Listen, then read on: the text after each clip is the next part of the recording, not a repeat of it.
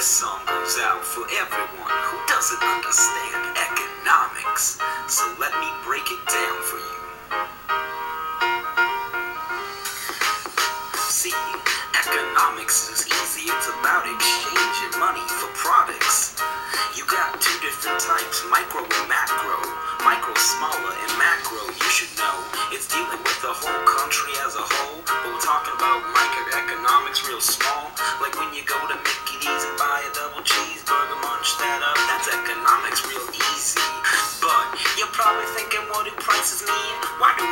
Just keep going up? But they don't. They go up and down. And that's what economists do.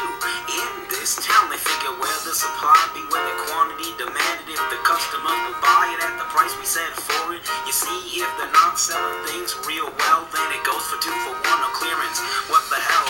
Oh, so economics wants to be about exchanging money, but it's more complicated. See, it's about what the marketers want to do. If they think that you will buy it, it up on you.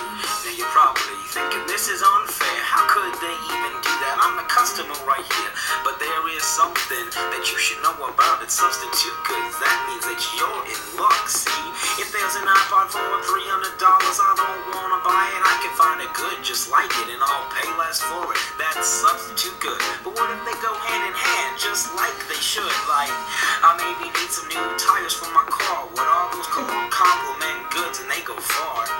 Everything needs a complement to the tango, just like this song, the beat and the lyrics.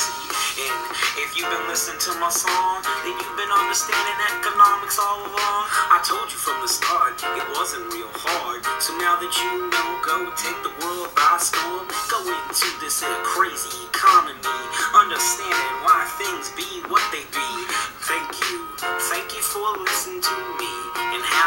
very nice day.